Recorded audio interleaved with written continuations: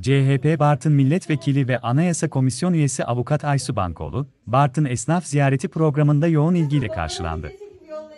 Aysu Bankoğlu, Bartın esnafını ziyaret ederek işlerinde kolaylıklar diledi.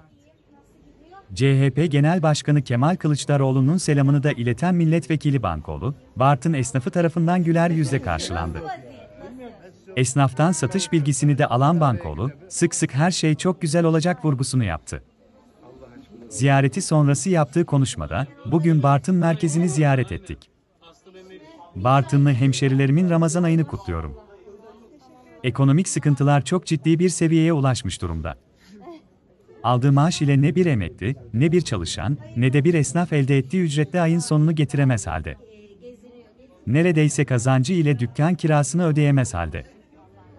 Birçok esnaf siftah yapmamış durumda. Ekonomik sıkıntıların bittiği, huzurlu, güzel, mutlu, gençlerin hayal kurabildiği bir Türkiye'yi Bartın'dan başlatmak için yeniden yola çıktık. 14 Mayıs'tan sonra yine baharlar gelecek ifadelerini kullandı. Yok, yabancı yok. Hep bizim adam bunlar. Açıyorlar. Kiminle görüşmesi olursa olsun. Şero geldi mi genel başkanın kapısı açık. He? Maşallah iyi mi? Çok şey olmaya çalışıyor. Ramazan'da biraz açık. Mı? Tamam.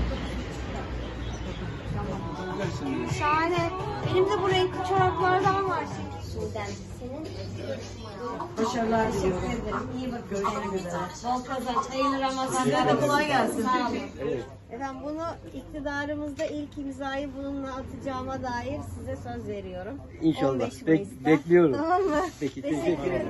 Ben de torunum. Cumartesi ya kapalı. Neredeymiş? Nöbetçi Kim bu yani? Bize selam veriyor.